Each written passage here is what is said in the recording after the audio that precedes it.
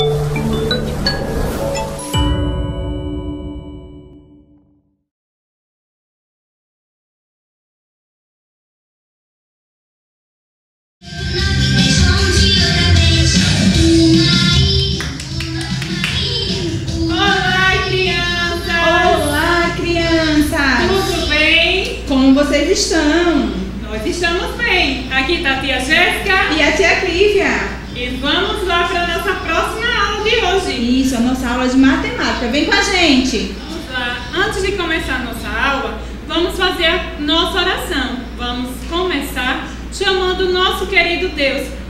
Abençoar nesse dia.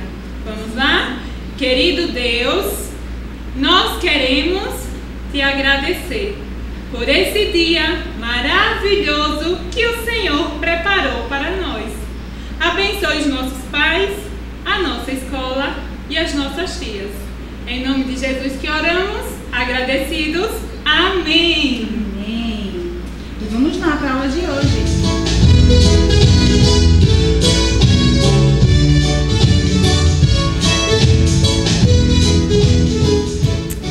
Vamos iniciar nossa aula de dezena e meia dezena. Esses são os numerais que vocês já conhecem. Eles são os símbolos, crianças, que representam as quantidades, vocês lembram?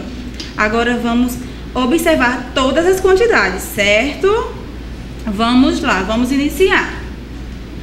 Um, numeral 1, um, ele representa uma quantidade. O numeral 2, ele representa duas quantidades. O numeral 3, ele representa três quantidades. Esse é o numeral 4, ele representa quatro quantidades. Isso mesmo. Quero ouvir vocês, tá? Esse é o numeral 5. Ele representa cinco quantidades. Esse é o numeral 6. Ele representa seis quantidades.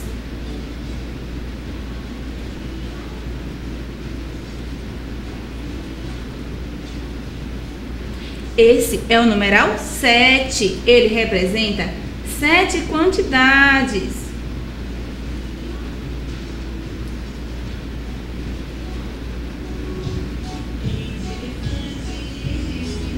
Esse é o numeral 8. Ele representa oito quantidades.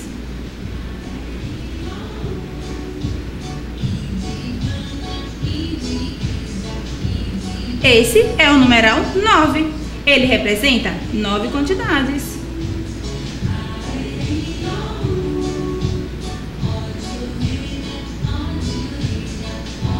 Esses símbolos vocês já conhecem. Agora, vamos conhecer mais um. O numeral zero. E não menos importante, o numeral zero, hum, ele representa qual quanti quantidade, crianças? Nenhuma, não é? Quando nós não temos nenhum elemento. Mas não é por isso que ele não é importante, não, viu? Existe um segredo, é isso mesmo. E nós vamos descobrir. Agora, crianças, olhem, só existe, vamos contar com a tia: um, dois, três, quatro, cinco, seis, sete, oito, nove, dez símbolos, que são os dez numerais. E com esses numerais, como podemos criar infinitos números? Isso mesmo, infinito. Os números são infinitos. Olhe, esse é o símbolo do infinito quando não há fim. Vamos descobrir? Tudo isso devemos ao numeral zero, tá? Vamos lá. Hum, o segredo hum, é esse. Quando nós mudamos o numeral zero de lugar, nós mudamos o valor. Quando mudamos o numeral zero de posição, mudamos o valor. Vamos conferir?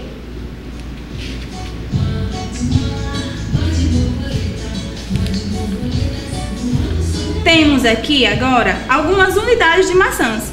Vamos contar? Uma, duas, três, quatro, cinco, seis, sete, oito, nove. Lembram que temos os símbolos até nove?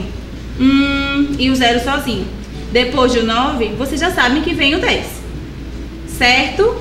Agora vamos fazer um pacotinho com essas 10 unidades. Olha, vamos lá. Nós temos agora um pacotinho de 10 crianças. Isso mesmo. E sobraram quantas maçãs? Vamos lá. Uma, duas maçãs. Nossa, quando temos um pacotinho com 10, isso significa que temos uma dezena. Isso mesmo, um pacotinho com 10 significa que temos uma dezena. E esse é o quadro que vocês já conhecem. O quadro das unidades e das dezenas. Como nós temos um pacotinho com 10 maçãs, onde devemos representar esse pacotinho? No quadro das dezenas. Muito bem, muito bem, muito bem. Então, temos quantas dezenas aqui? Somente uma dezena. Então, vamos colocar no, na ordem correta. Esse é o quadro de ordens. E o D significa dezena. Então, vamos colocar aqui um pacotinho de 10 maçãs representa uma dezena. Então, vamos colocar aqui o número 1. Sobraram quantas maçãs? Isso mesmo, uma, duas maçãs. Então, temos duas unidades. O número 2 vai vir aqui representado no quadro das unidades. Olha. 12 maçãs, uma dezena e duas unidades. Muito bem. Vamos conferir esse aqui. Vamos contar? Agora, quantos carrinhos temos? Vamos lá. Agora vocês já sabem que 10 unidades formam uma dezena. Vamos lá. 1, 2, 3, 4, 5, 6, 7, 8, 9, 10. Agora vamos fazer um conjunto, olha, vamos fazer um pacotinho. Um pacotinho com 10 carrinhos. Eu tenho um pacotinho com 10 carrinhos e 10 unidades formam uma dezena. Então eu vou colocar aqui no quadro de ordens, no quadro do lado da dezena. Temos quantas dezenas aqui? Um pacotinho com 10, uma dezena número 1. Vamos ver quantas unidades sobraram? 1, 2, 3, 4, 5. 5 carrinhos, 5 unidades. Então, agora vamos colocar aqui, do lado das unidades.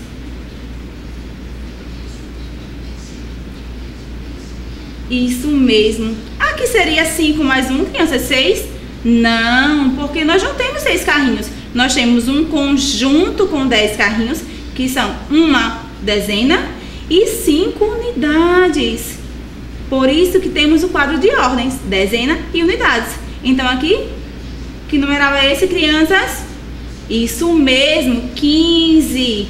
15 unidades, que represent, são representados por uma dezena, que é um pacotinho com 10, e 5 unidades. Muito bem! Agora, por que que o zero é tão importante, crianças? Vamos descobrir? Vamos lá. Vamos fazer um conjuntinho com 10. 1, 2, 3, 4, 5, 6, 7, 8, 9, 10. Temos 10 unidades. E então temos um pacotinho com 10. Significa que temos uma dezena de blocos. E agora, vamos novamente. Um, dois, três, quatro, cinco, seis, sete, oito, nove, dez. Temos mais um pacotinho com 10 unidades significa que temos mais uma dezena. Se nós temos uma, duas dezenas, dois pacotinhos com 10, vamos representar agora no quadro de ordens? um pacotinho com 10 e um pacotinho com 10. Uma, duas dezenas. Então, vamos colocar aqui no quadro de ordens do lado da dezena. Isso mesmo. 2. Vocês acham que esse 2 está representando essa quantidade?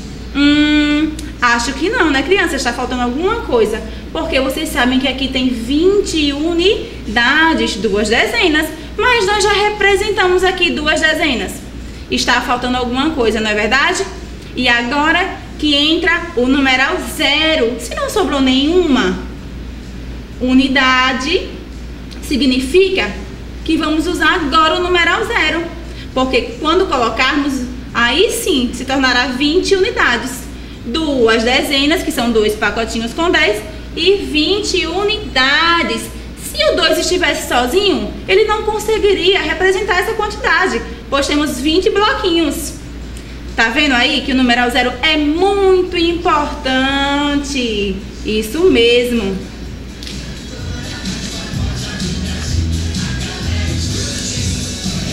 Agora, sabemos, sabemos que quando juntamos 10 unidades, formamos uma dezena. Vamos dar uma olhadinha? Vamos lá. Um, dois, três, quatro, cinco, seis, sete, oito, nove, dez. Temos aqui dez unidades, crianças. Mas olhe, essas unidades estão soltinhas. Então, como nós temos já 10, que é um conjunto de 10 que formam uma dezena, vamos trocar. Porque quando se transforma em uma dezena, olhe, os bloquinhos, eles ficam juntinhos.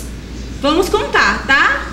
1, 2, 3, 4, 5, 6, 7, 8, 9, 10. Então, aqui temos uma dezena. Vamos trocar esse pacotinho aqui. E agora vamos descobrir quantas unidades vem na meia dezena. E como vamos descobrir? Vamos dividir, certo? Vamos lá. Um para mim, um para vocês. Um para mim, um para vocês. Um para mim, um para vocês. Um para mim, um para vocês. Um para mim, um para vocês. Vamos contar? Um, dois, 3, 4, 5. Nós dividimos. Isso significa que meia dezena são 5 unidades. Aqui as 5 unidades, crianças. Muito bem. Tenho certeza que vocês já aprenderam. Vamos iniciar o resumo da aula de matemática de hoje, dezena e meia dezena. A palavra dezena lembra 10, porque uma dezena são 10 unidades. E a palavra unidade lembra um. Esses são numerais que vocês já conhecem. E eles representam as quantidades. Um, uma quantidade. Dois, duas quantidades. Três, três quantidades. Quatro, quatro quantidades. Cinco. Cinco quantidades. Seis. Seis quantidades. Sete. Sete quantidades. Oito. Oito quantidades. Nove. nove quantidades. Como a gente representa números maiores? Hum, vocês descobriram. Pensem aí um pouquinho. Vamos lá. Quando mudamos os símbolos de lugar ou de posição. Aí, nós temos um grupinho com 10 maçãs, que representa uma dezena, e 6 unidades. Agora vamos usar o material dourado para representar as dezenas. Isso mesmo, vocês viram que um quadrado pequeno representa uma unidade e uma coluna com 10 unidades formam uma dezena. Assim, 10 colunas com 10 unidades cada formam uma centena. Esse é o quadro de valor que vocês também já conhecem. Primeiro unidade, depois a dezena.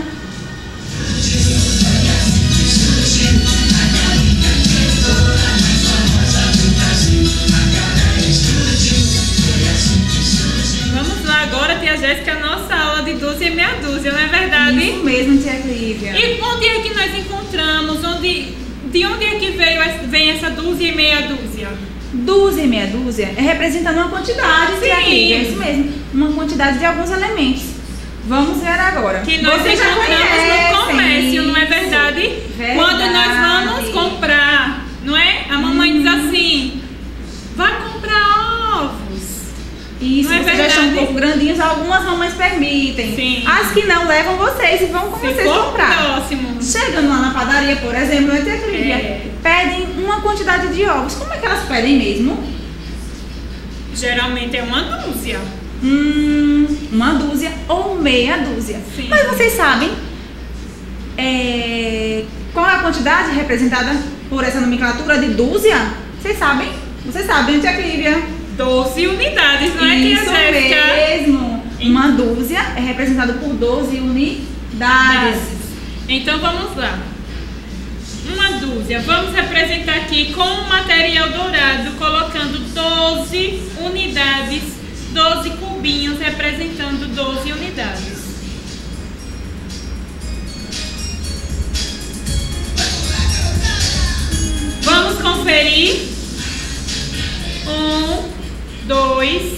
3, 4, 5, 6, 7, 8, 9, 10.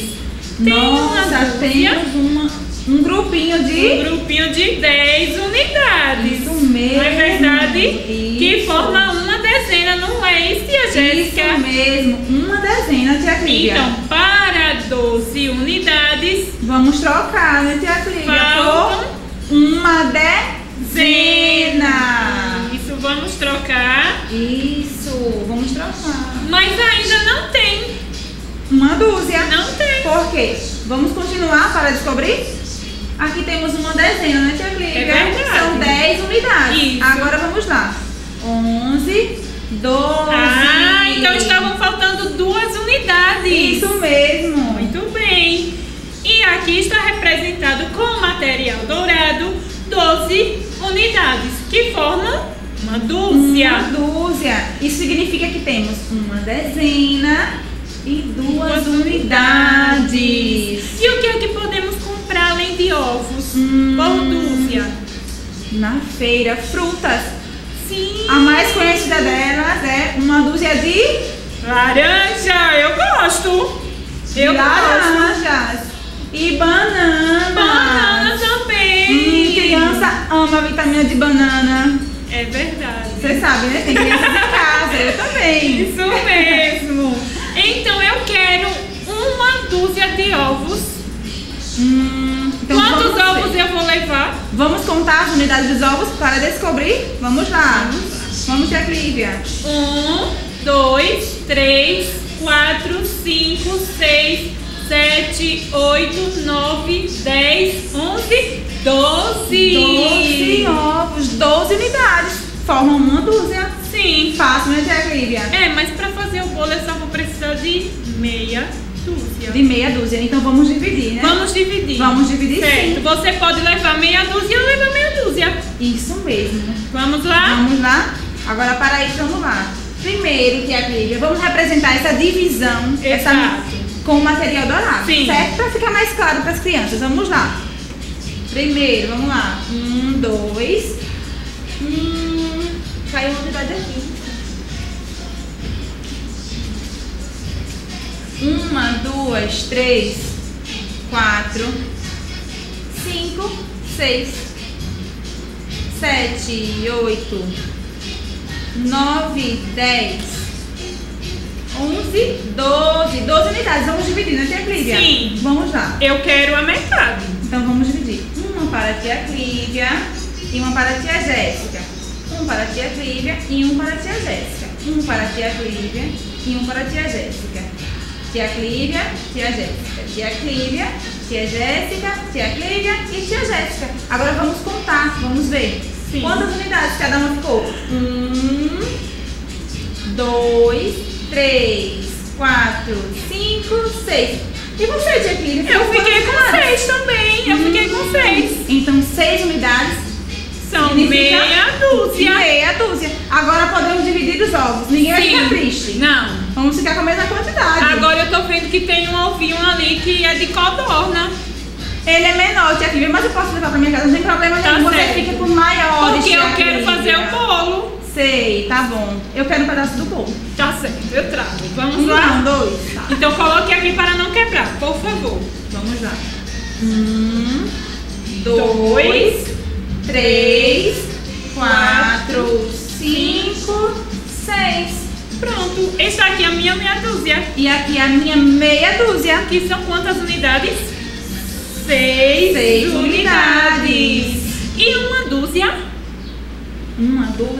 12, 12 unidades. Isso mesmo. Muito bem, tia Jéssica. Eu tenho certeza que eles já aprenderam, não é ah, verdade? Com certeza eles já sabem. Aprenderam sim. Tenho certeza disso. Então, vamos desafiá-los?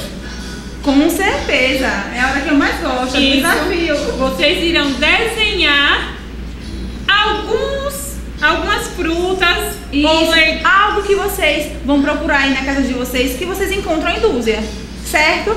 Qualquer coisa. compra. Isso mesmo. Não é verdade? Pede o auxílio da mamãe, do papai e de algum adulto que esteja em casa.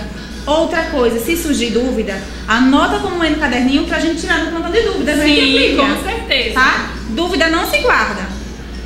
Ok? Ok, tia Jéssica. Tá. Tchau, galera.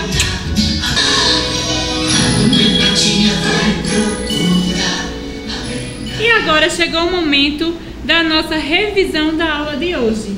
A aula é de matemática e o assunto é dúzia e meia dúzia.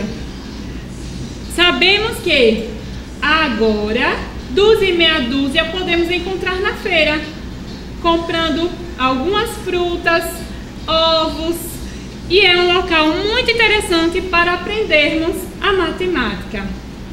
Dúzia é o nome que damos às quantidades. Doze unidades formam uma dúzia. Nós temos aí representando uma dúzia de flores, que são 12 unidades. E meia dúzia, seis unidades. Temos aí seis flores bem lindas para vocês. Espero que você tenha gostado da nossa aula de hoje. Até a próxima!